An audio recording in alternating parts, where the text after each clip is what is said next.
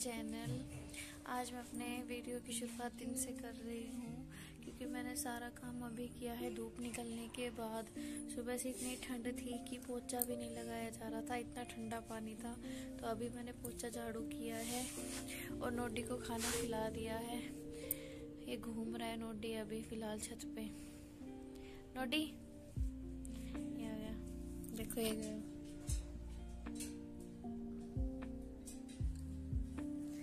इसको धूप में निकालना पड़ता है, जब धूप आती है, जब ये निकलता है तो रूम से बाहर ही नहीं निकलता।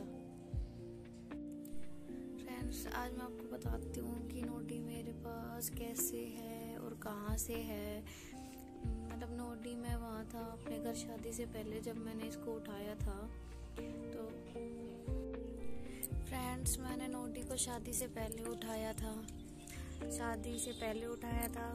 तो शादी के बाद भी यही मेरा, मेरी रिस्पॉन्सिबिलिटी थी कि मैं नोटी को अपने पास रखूँ।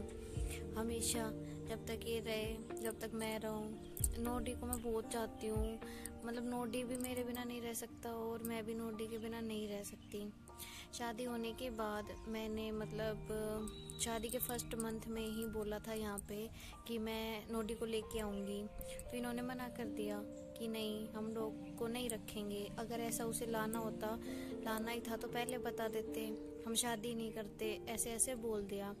फिर मेरे हस्बैंड ने कहा कि ले आएँगे, जब ऊपर बन जाएगा ना तब ले आएँगे। पहले नीचे नीचे रूम थे, ऊपर नहीं थे। तो इन्होंने बोला कि ऊपर बन जाएगा, तब लेके आ जाएँगे उसे। वो ऊपर रह लेगा अपने साथ, क्योंकि नीचे नहीं रह सकता वो सबके साथ। ठीक है मतलब मैंने सुन लिया। फिर ऐसा करते करते ऊपर बना ही नहीं छः महीने बीत गए। छः महीने बाद भी नहीं बनाया। फिर यूँ बोले कि बनाएँगे बनाएँगे, तब ले आएँगे। ऐसे करते करते इन्होंने वन ईयर बिता दिया। उसके बाद बात इतनी भी हो गई थी कि मैंने डिवोर्स फ़ाइल कर दिया था। मतलब डिवोर्स होने वाला था हमारा। नोडी को लाने के लिए अब मानोगे नहीं हमारा डिवोर्स हो रहा था। डिवोर्स फ़ाइल हो चुका था दोनों साइड से और नोडी को लाने का कोई वो नहीं था कि हम नोडी को ले आए ताकि वो हमारे पास वापस आ जाए। फिर भी नहीं माने हस्बैंड तो फिर भी मान गए थे, लेकिन मेन ये था कि जो इनके पेरेंट्स हैं, वो एग्री नहीं हो रहे थे इसको लाने के लिए। तो नहीं हो रहा था तो फिर बाद में इन्होंने जब मैंने डिवोर्स फ़ाइल कर दिया था तो एक साल कम से कम चला है वो। उसके बाद इन्होंने अपनी फैमिली को समझाया, क्या किया, मुझे नहीं पता। लेकिन हाँ ये अचानक से एग्री हो गए कि चलो ठीक है, ले आएँगे नोडी को। फिर मैं यहाँ पे वापस आई और अब नोडी मेरे साथ रह रहा है। और ये था मैं नोडी के बिना नहीं रह सकती और नोडी भी मेरे बिना नहीं रह सकता। तो मैं इनसे अलग होने के लिए तैयार हो गई थी, पर नोडी को अपने साथ रखना था। और ये बंदे ऐसे हैं कि एक जीव ही तो अपने पास लेके आना है। वो यहाँ ना आए, उसके लिए कुछ भी। मतलब डिवोर्स तक देने को तैयार हो गई है। फिर बाद में अब तो वो इसके साथ सही रहते हैं मतलब वो भी इसको बहुत चाहने लग गए हैं और ये भी उन्हें बहुत चाहता है। मतलब इनका बॉन्डिंग ऐसी हो गई है कि वो रात को अगर लेट आते हैं ना तो ये खाना नहीं खाता है। जब वो आ जाएँगे तभी ये खाना खाएगा और रात को अगर नहीं भी आ पाए, ज़्यादा ही लेट हो गए तो ये सोता भी नहीं है। कहीं चले जाते हैं तो भी खाना नहीं खाता। अब इनमें इतना प्यार हो रहा है। वो भी जब तक सुबह इसे ना देख ले, और उसको भी वो नहीं होता। मतलब अब इन दोनों का रिश्ता ऐसा हो रहा है। वो भी इसे बहुत चाहने लग गए हैं और ये भी उन्हें बहुत चाहने लग गया है। ये बचपन में जब मैंने उठाया था ना, इसको ऐसे वो हो रही थी, खुजली टाइप हो जाती है ना, वो हो रही थी। तो डॉक्टर ने बोला था, आप देख सकते हैं, अभी भी इसको है ना थोड़ी थोड़ी खुजली है। तो ये खुजली कभी सही नहीं हो रही, इसकी कभी सही नहीं होती। मतलब सर्दियों में ज़्यादा हो जाती है। बहुत सारे शैम्पू भी ट्राई कर लिया, लेकिन अब जो मैंने आपको शैम्पू बताया था ना, उससे फ़र्क है। इतनी इतनी खुजली चलती नहीं है इसको।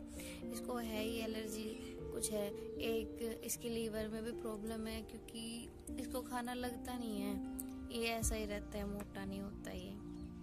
जब छोटा सा उठाया था मैंने तो ये बहुत ही इतना छोटा सा था। मतलब आँख खुले पाँच छः दिन हुए होंगे, ज़्यादा ज़्यादा ये पच्चीस, तीस दिन के आसपास होगा। तब मैंने इसको उठाया था। फिर हम इसको डॉक्टर के लेके गए थे। फिर उसके बाद ये हमारे साथ ही रहा। मतलब इसको छोड़ने का मन ही नहीं किया। आज चल भी से बहुत चाहती है और भाई मतलब वहाँ की फैमिली भी इसे बहुत ही ज़्यादा चाहते हैं क्योंकि मम्मी ने और मेरी बहन ने इसका ख्याल रखा है। जब से आया है, जब से लेके मेरी शादी के बाद भी जब मैं यहाँ थी, उन्होंने इसकी सारी केयर की है। हमारे घर पे और भी हैं। एक टाइगर है एक लड्डू भी है। वो भी इसे बहुत चाहते हैं, वो मिस भी बहुत करते हैं इसे।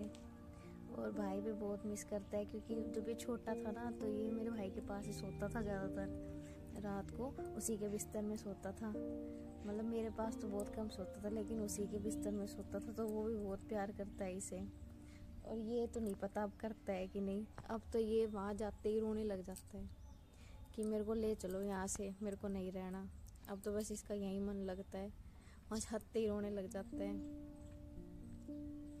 और तो देख लो मतलब मैं इसको इतना चाहती हूँ कि मैंने इसके पीछे मतलब अपनी मैरिज को भी दाव पे लगा दिया था। तो यही है मतलब मैं ये नहीं कहती कि कोई भी ऐसा करो, पर हाँ एक जीव है। अगर आप उसको लेके आते हो ना तो उसकी पूरी रिस्पॉन्सिबिलिटी उठाओ। उसे अपने साथ रखो, ये नहीं कि आप ले आए, फिर उसके बाद वो कहीं पड़ा है, कहीं कुछ कर रहा है, बारिश में भीग रहा है, आप अंदर हो, वो घर के बाहर है। ऐसा मत करो, क्योंकि आपसे जो और कोई कोई लोग ऐसा करते हैं कि इनको छोड़ देते हैं। ऐसा करने से होगा क्या? यार वो, उसे घर की आदत हो चुकी है, और जब हम उसे बाहर के एनवायरनमेंट में छोड़ते हैं तो सरवाइव नहीं कर सकता। बिल्कुल भी सरवाइव नहीं कर सकता। बाहर के जो डॉग्स हैं, वो उस जैसे नहीं हैं तो वो तो एग्रेशन करेंगे ही उसके ऊपर। हमारे यहाँ पे भी एक जर्मन शेफर्ड है, किसी ने छोड़ दिया।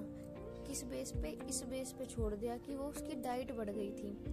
बचपन में वो कम खाना खाता था, अब उसे ज़्यादा खाना चाहिए तो इसलिए उन्होंने गली में छोड़ दिया, ऐसे ही। अब वो इतना कमज़ोर हो रहा है कि उसको देख के कोई नहीं कह सकता है जर्मन शेफर्ड है। और जो स्ट्रीट डॉग्स हैं, उनसे ऐसे छुपते छुपते फिरता है ये। बहुत ही ज़्यादा। प्लीज़ ऐसे छोड़ दो मत उसे। या तो आप लो ही मत। और लेते हो तो फिर उसके साथ रहो ना। उसकी रिस्पॉन्सिबिलिटी उठाओ। मैं तो मेरे नोटी को नहीं छोड़ सकती। और मैं अपने साथ ही रखती हूँ इसे। कहीं भी जाना होता है, साथ लेके जाती हूँ या रेवाड़ी में कुछ काम होता है तो मम्मी के पास छोड़ देती हूँ।